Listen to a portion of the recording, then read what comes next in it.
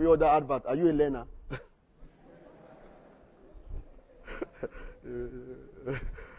are you a learner? Sorry, who, what, what's wrong with you? Hmm. Are you not aware? Jesus of Nazareth, he said, a prophet of God. That's what they called him. His prophet, his disciples called him prophet. The glory cloud is here. The power of our God. Jesus has done everything. So if he has done everything, I just need to find out.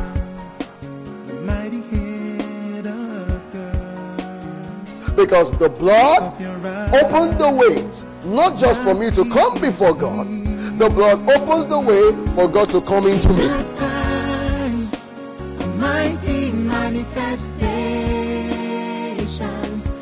Are seasons of glorious manifestations. These are times of mighty manifestations of the glory of the Lord. Of the the Lord. You are watching the Living Word Telecast. Don't forget, when it shall turn to the Lord, the veil shall be taken away. Then you will see clearly all the drama of the Old Testament, all the ceremony. Let's go on a bit now. After that, you discover that Peter, you know, it takes a while. 40 days teaching cannot solve many years' problems. Jesus was with them 40 days doing teaching, series, daily teaching, tutorials of the word. After all Jesus told them, let's observe Peter's sermons. In Acts 2, praise God. Please pay attention here. What happened to Jesus? The four Gospels tell us about Judas, and then tell us about Pilate, and then uh, the betrayal of Judas, and the denial of, um, of Peter, and all that. Now look at Acts 2, verse 22. Ye men of Israel, hear these words. Jesus of Nazareth, a man approved of God, among you by wonders, signs, I mean, miracles and wonders and signs, which God did by him in the midst of you, and you yourselves you know. Him being delivered by the predetermined counsel of God and foreknowledge of God, you have taken, watch that, and by what? Wicked hands have crucified and slain. That was his sermon. He says, You, talking to the Jews, you delivered him over, you crucified him, you slew him. That's his sermon. Go to chapter 3. I'm going to read some verses of portions of scripture here. Verse 13. And the God of Abraham, another sermon now. The God of Abraham and Isaac and Jacob, the God of our fathers, had glorified his son Jesus, whom you delivered up. And notice it, whom you did what? Acts 3.13. Whom you did what? What What is him to deliver up? Deliver up means to give to die. Okay? Whom you gave to die and denied him in the presence of Pilate when he was determined to let him go. But you denied the Holy One and the just and desired a murderer to be granted unto you and killed the Prince of Life whom God had raised from the dead whereof were witnesses. So here, hear this. What's this? Peter's sermon is this. Man punished Jesus. And then God raised him from the dead.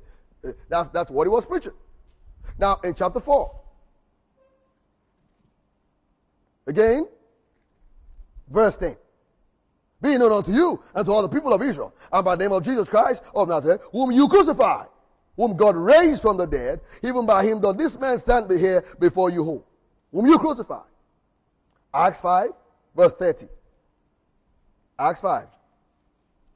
The God of our fathers raised up Jesus, Acts 5.30, whom you slew and hanged on a tree.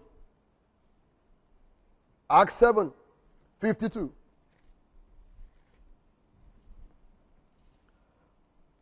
Which of the prophets have not your fathers persecuted?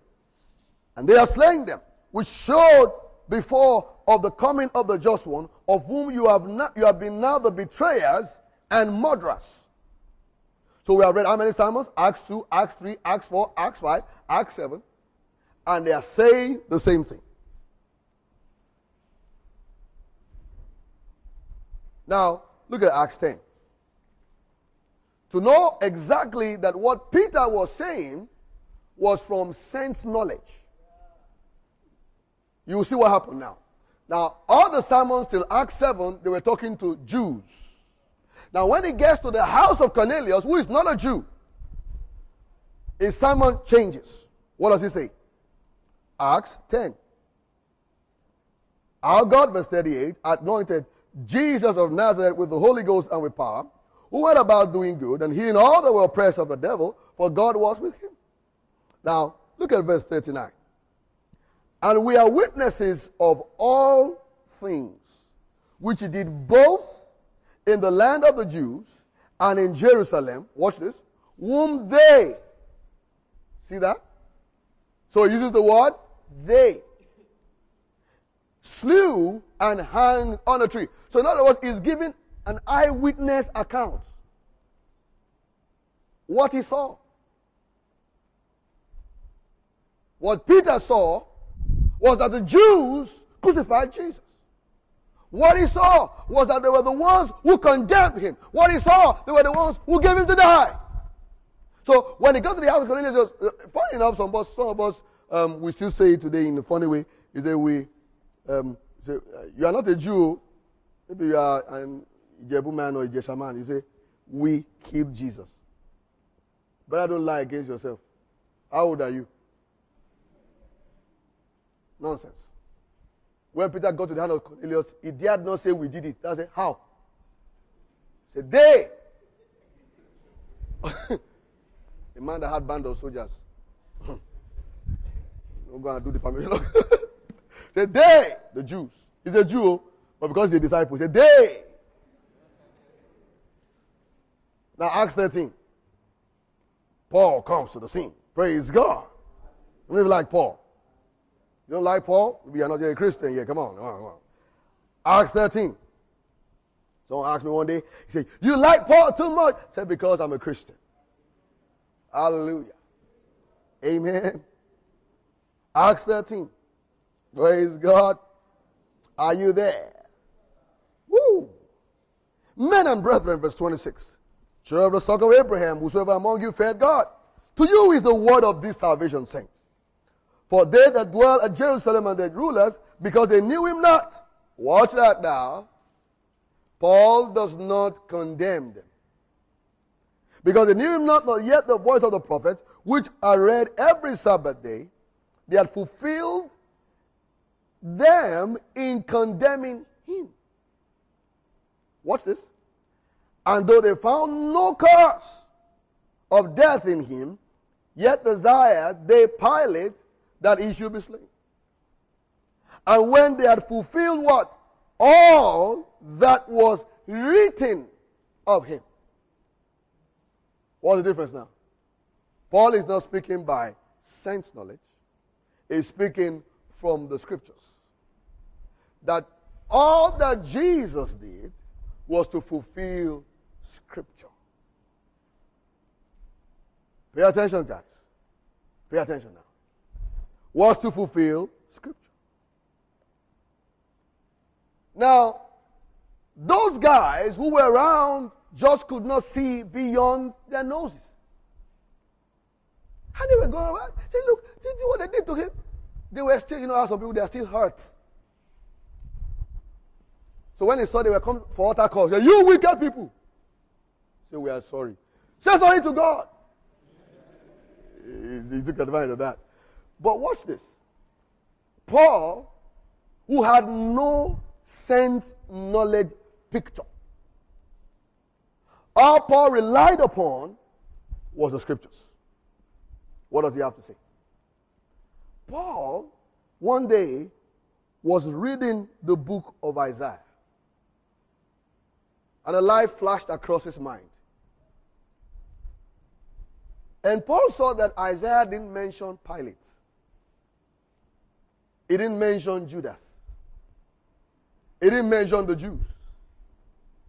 Isaiah 53, go there. Because the four gospels are the things man saw. The epistles are the things God saw. Isaiah 53. So only those who were not present saw what happened. It was difficult for those who were present to see what happened. Because their senses hindered them. Isaiah wasn't present, Paul wasn't present. Isaiah 53. Are you there now? Verse 4. Let's take it together. Let's go. Surely he hath, hold on, he hath, and what? Carried hill. He hath borne. That means it was an act of his will. He hath borne our griefs, carried our sorrows. Yet we did esteem him stricken, smitten of God, and afflicted. Verse 5. He was wounded. I know who wounded him. He was that soldier. His name is Sampam. He said, Adam Legbe. Oh. He was wounded by who? That soldier. Watch this. He was bruised for our iniquity. I know who did that one. He's that kill and go guy. The guy that said, you know, cancel, cancel, you know, cancel, cancel. You know the joke, cancel, cancel. cancel. you know, I will, I will share this is church, you know. cancel, cancel. So, cancel, cancel. Bruised him for our iniquities. The chastisement of our peace. That's Kaboku now, right? Was laid upon him, or was upon him. How with his stripes we are healed. Now, see the master stroke. This is where Paul got the truth from. Let's take verse 6 together. All we, like sheep, oh, everybody, come on. All we, like sheep, have gone astray. We have turned everyone. The what? The what? The what? The what? No, no, no. The Jews condemned him. The The what? Who condemned him? The Lord? Oh, well, what he's trying to say is after they condemned him, he now did it. Watch. Watch this. Verse 9. He made his grave with the wicked and with the rich in his death because he had done no violence, neither was any deceit in his mouth. Verse 10. This is clear. Yet it pleased. Who bruised him? Did you see that in the four Gospels? You will see Pilate? Because that's what the eyes can see. Who bruised him? Who put him to grief? Who made his soul an offering for sin? See that? 2 Corinthians 5.21. Paul now concluded and said, For he hath made him sin for us. Ain't no Pilate involved. Ain't no Judas to blame. God did it. Who is responsible for the death of Jesus? Jehovah God. Who should we hold responsible for what happened to Jesus on the cross? God. So say, no, God how? Thomas said, never. How God? Even Jesus said, my God, my God, why have you abandoned me? Oh, it's true. God first of all abandoned him. Oh, hey, but it's because uh, God couldn't handle the soldier. Matthew tax collector says, hmm, God, I don't see God there. I saw Pilate, the high priest, Judas, Peter, Yusuf. How? the cock told us that you denied him. they were all sense knowledge men. It says, The Lord bruised him. Watch this now. Jesus had already said it. He said, For God so loved the world that he gave. But they didn't understand what he was saying. That he gave his only begotten son. Now, he couldn't give his only begotten son in the incarnation because that was when he became the only begotten son. He gave his only begotten son when he gave him to die. In John 1 29, John says something instructive. He says, Behold, the Lamb of God. That is, who brought the lamb forward? Huh? Who killed the lamb? Come on. In the Old Testament, who sacrifices the lamb? The high priest. On behalf of God. So who did that to the lamb? Says the lamb of God. So you see, all this Easter drama is further blinding our eyes from the reality of what happened. I mean, everything. Watch this.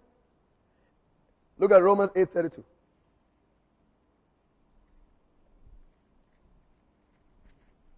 Don't blame Peter if you were in his shoes, you'll have said worse things.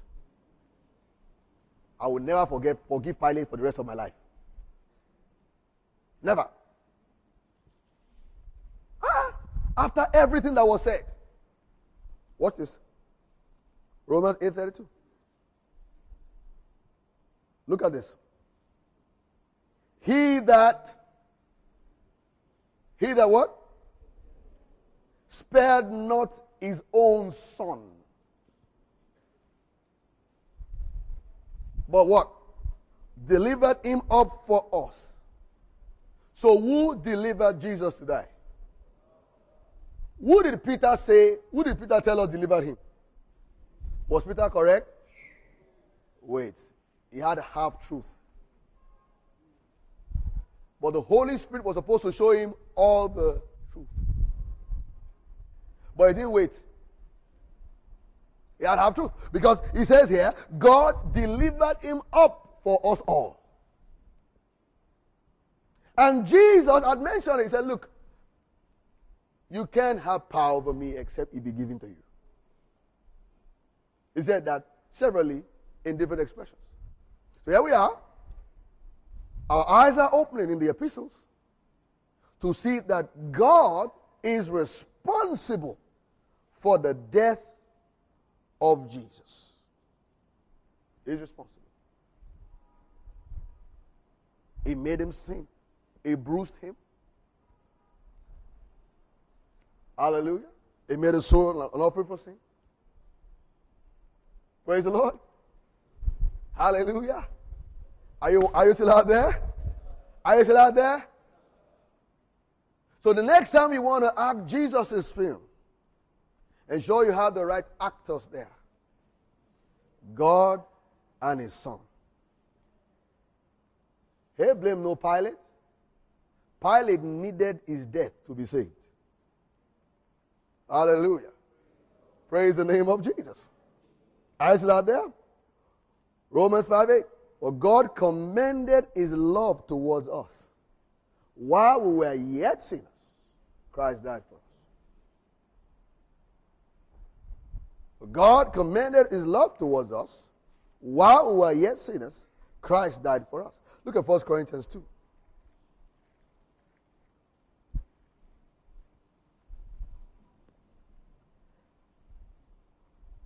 Howbeit, verse 6, we speak wisdom among them that are, are perfect, yet not the wisdom of this world, nor the princes of this world that come to nothing. But we speak the wisdom of God in a mystery, even the, now what's the word mystery? The word mystery is the Greek word mysterion. It means a hidden fact. A veil is upon it. Okay? So what's the opposite of mystery? Huh? revelation. Praise God. All right? Are you, are you following this? The wisdom of God in a mystery, even the hidden wisdom which God ordained before the world unto our glory. So this truth was kept for us, not from us. Now, verse 8. Which none of the princes of this world knew, for had they known it, they would not have crucified the Lord of glory. So they became actors because God engaged them. I'll say that again. They became actors because God engaged them. God used their ignorance. Praise God. To accomplish his own task. Now, hear me out, hear me out, hear me out. And I've said this many times, we're going to say it again. Satan is limited by the information that man has. Now, pay attention now. How do you receive information? By seeing, by hearing, and by imagination, thought. Now, Satan picks his, his thoughts and his knowledge from man. If man doesn't talk, Satan doesn't know.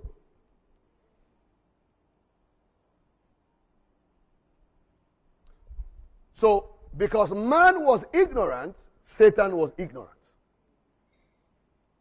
Because the Bible lets us know that God, through Jesus, Hebrews 2.14, through death, destroyed him that had the power of death, even the devil. You would have thought Satan, being the authority of darkness at that point, arresting Jesus was in control. But if he had seen what the scripture had said about that earlier, he would have known he was losing control. But because man didn't know it, Satan couldn't know it. So Satan is limited by what we know. No, not we know. What man knows.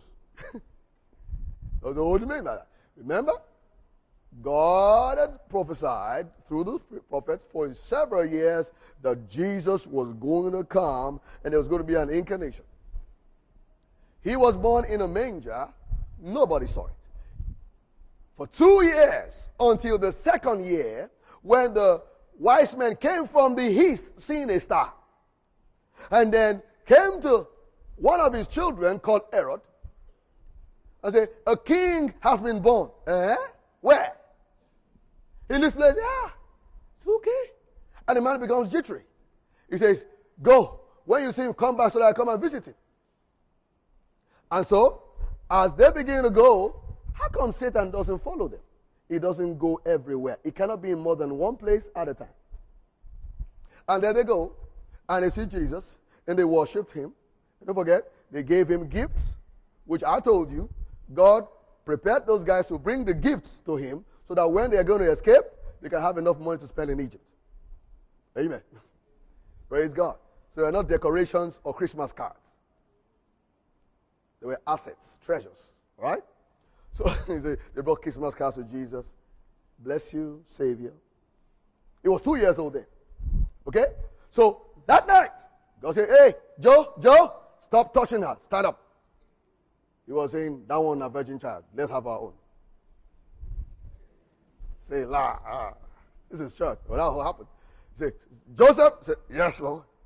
Don't close your eyes yet. Open it. Now you're going to take that child, and you'll take the mother, you're going to go to Egypt. See, we have not won visa lottery. You have to go now. See, because they are after his life. And then they go to Egypt. The wise men were told, don't go back to Herod. So whatever is not said to Satan, he doesn't know it. Satan needs Herod to know. And then they go, Herod now, where are the wise men? They send text message, it's, the number is out of uh, coverage area. They sent emails, it was bouncing back. They checked their Facebook pages, they were closed. How can we get information? Check their DP absent. There was no, hey, short things, you know. Everything blank. So he began to say, now Satan, I told you, Satan is so impatient, he moves too fast. He's stupid. So he moves fast. Said, okay, kill all the children, two years under. because of one child. That's Satan. So they killed all the children, but where was Jesus? In Egypt. Wasn't Satan in Egypt? I've told you, he is not omnipresent. He was never in Egypt. He didn't even know they were there. And Egypt must have been full of unbelievers. But Satan is as daft as those unbelievers. So here they go. Jesus is 12, he's in the temple. He's not playing um, he's not playing Ben 10. 12 years old. He's not, you know, he- he's just studying the scriptures and asking questions. And Satan still wasn't aware that was the man. He's so daft. Why? Because he doesn't know beyond man. The man didn't know, so Satan couldn't know. Anything you don't tell him, he doesn't know. So every time you tell him, I have made you too small in my eyes, he knows.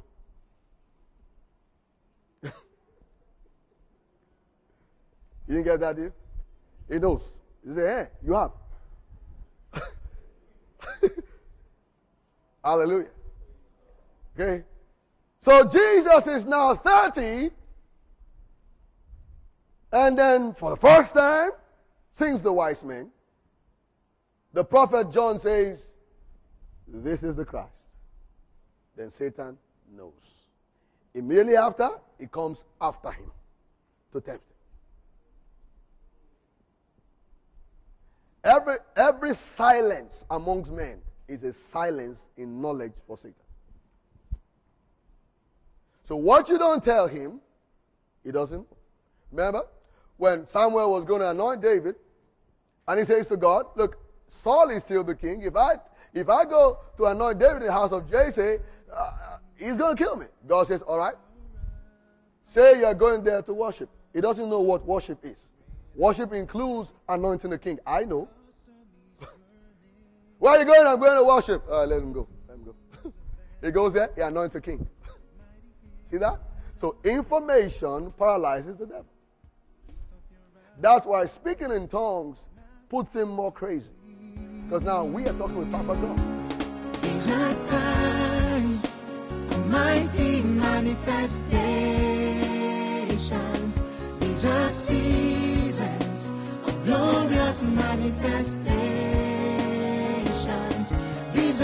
For more information about the Saints Community, visit www.saintscommunity.com.